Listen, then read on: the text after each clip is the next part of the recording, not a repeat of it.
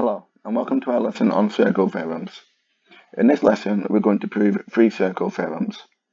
And we begin with the angle at the centre is double the angle at the circumference. We can prove this because if this is the centre, these two lines are two radii, then they must be equal. And we can create a third radius from the circumference to the centre, then these three radii are now equal. And here we have an isosceles triangle, where the two base angles we can call A, and they must be equal, because the two radii are equal. And we can call this angle here, at the centre, angle B. Angles in a triangle tell us that 2A plus B will add up to 180 degrees.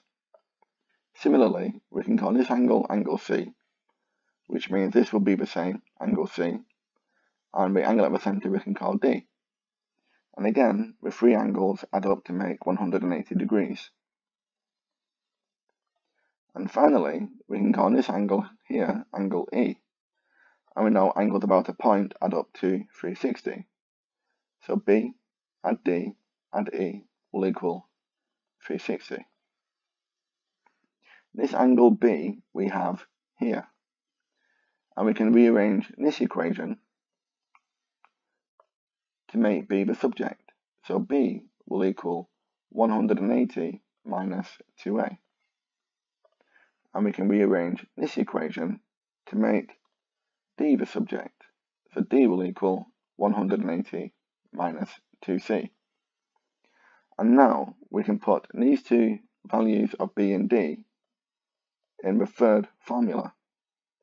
So we have B, which is 180 minus 2A, plus D, which is 180 minus 2C, plus angle E is equal to 360. And subtract 360 from both sides. So these will cancel.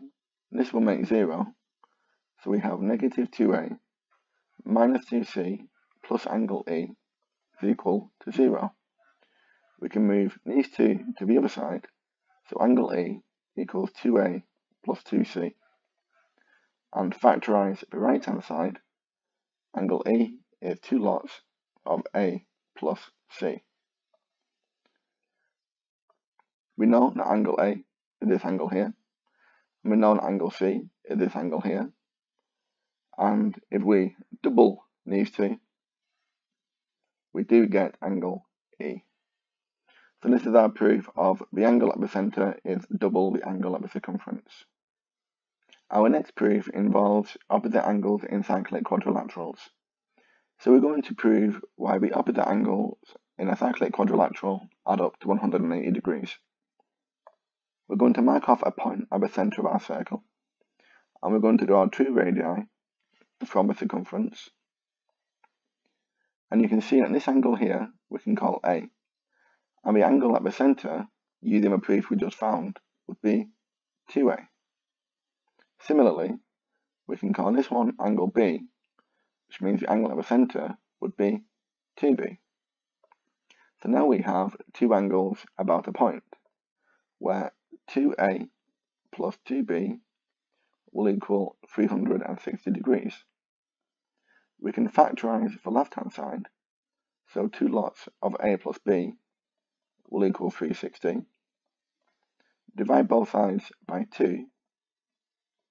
So A plus B will equal 180. And this is angle A and this is angle B. So there's a proof of opposite angles in a cyclic quadrilateral add up to 180 degrees. And our final proof involves the angles at the circumference of the same segment being equal. So here we have a minor segment and a major segment. They are separated by the chord here. And the proof will show that this angle is equal to this angle. Okay, again, we're going to mark off a point at the center of a circle. And we're going to draw two radii from the circumference to the center so now we can see the same proof we had to begin with, the angle at the centre is double the angle at the circumference. So if this is angle A, this would be angle 2A. And we have the same relationship here, an angle at the centre and the angle at the circumference. So if this is 2A, this would be A. Which is why the two angles at the circumference in the same segment are equal. Thank you for watching, I hope you found that useful. Thanks again and take care.